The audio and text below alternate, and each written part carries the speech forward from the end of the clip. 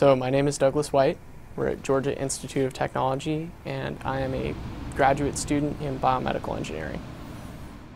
Ultimately, I want to understand what sort of processes make stem cells do what they do, differentiate, and turn into all the adult cells in the human body.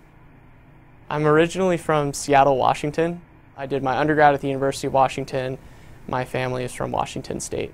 I'm really curious about everything going on around me all the time. So I love to read. I loved playing with Legos when I was a kid, and I love to build things. And the building blocks of the human body really are stem cells. So I became fascinated with them as soon as I learned about them in college, and I wanted to work with them as much as possible to try and understand how they work, how we can harness their potential for ultimately curing or helping to diagnose or providing screening platforms for debilitating diseases, particularly Alzheimer's. I have a lot of family members who have suffered from that disease, and it's really debilitating to watch people just slowly slip away from you and lose their memory. So, even though the research that I do isn't directly linked to that, it provides some of the basic building blocks for researchers to try and combat some of these diseases typically in the lab, I do a lot of cell culture because embryonic stem cells require a lot of maintenance in terms of passaging the cells because they grow quite rapidly and then culturing them in, in long periods of time. There's a, uh, a lot of time spent in the hood to make sure that you have enough cells for larger experiments.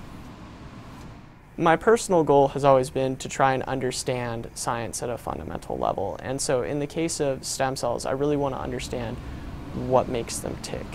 How do they operate?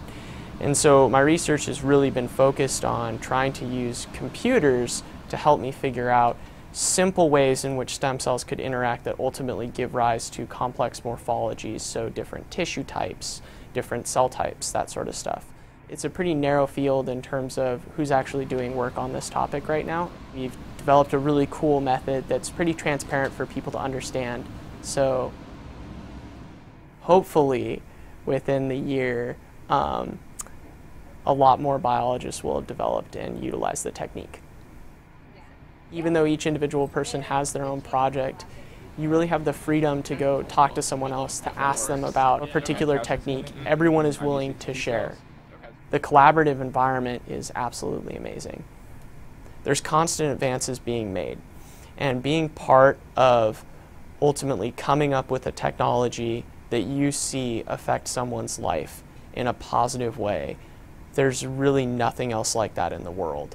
That's something that, you know, you can't really get anywhere else.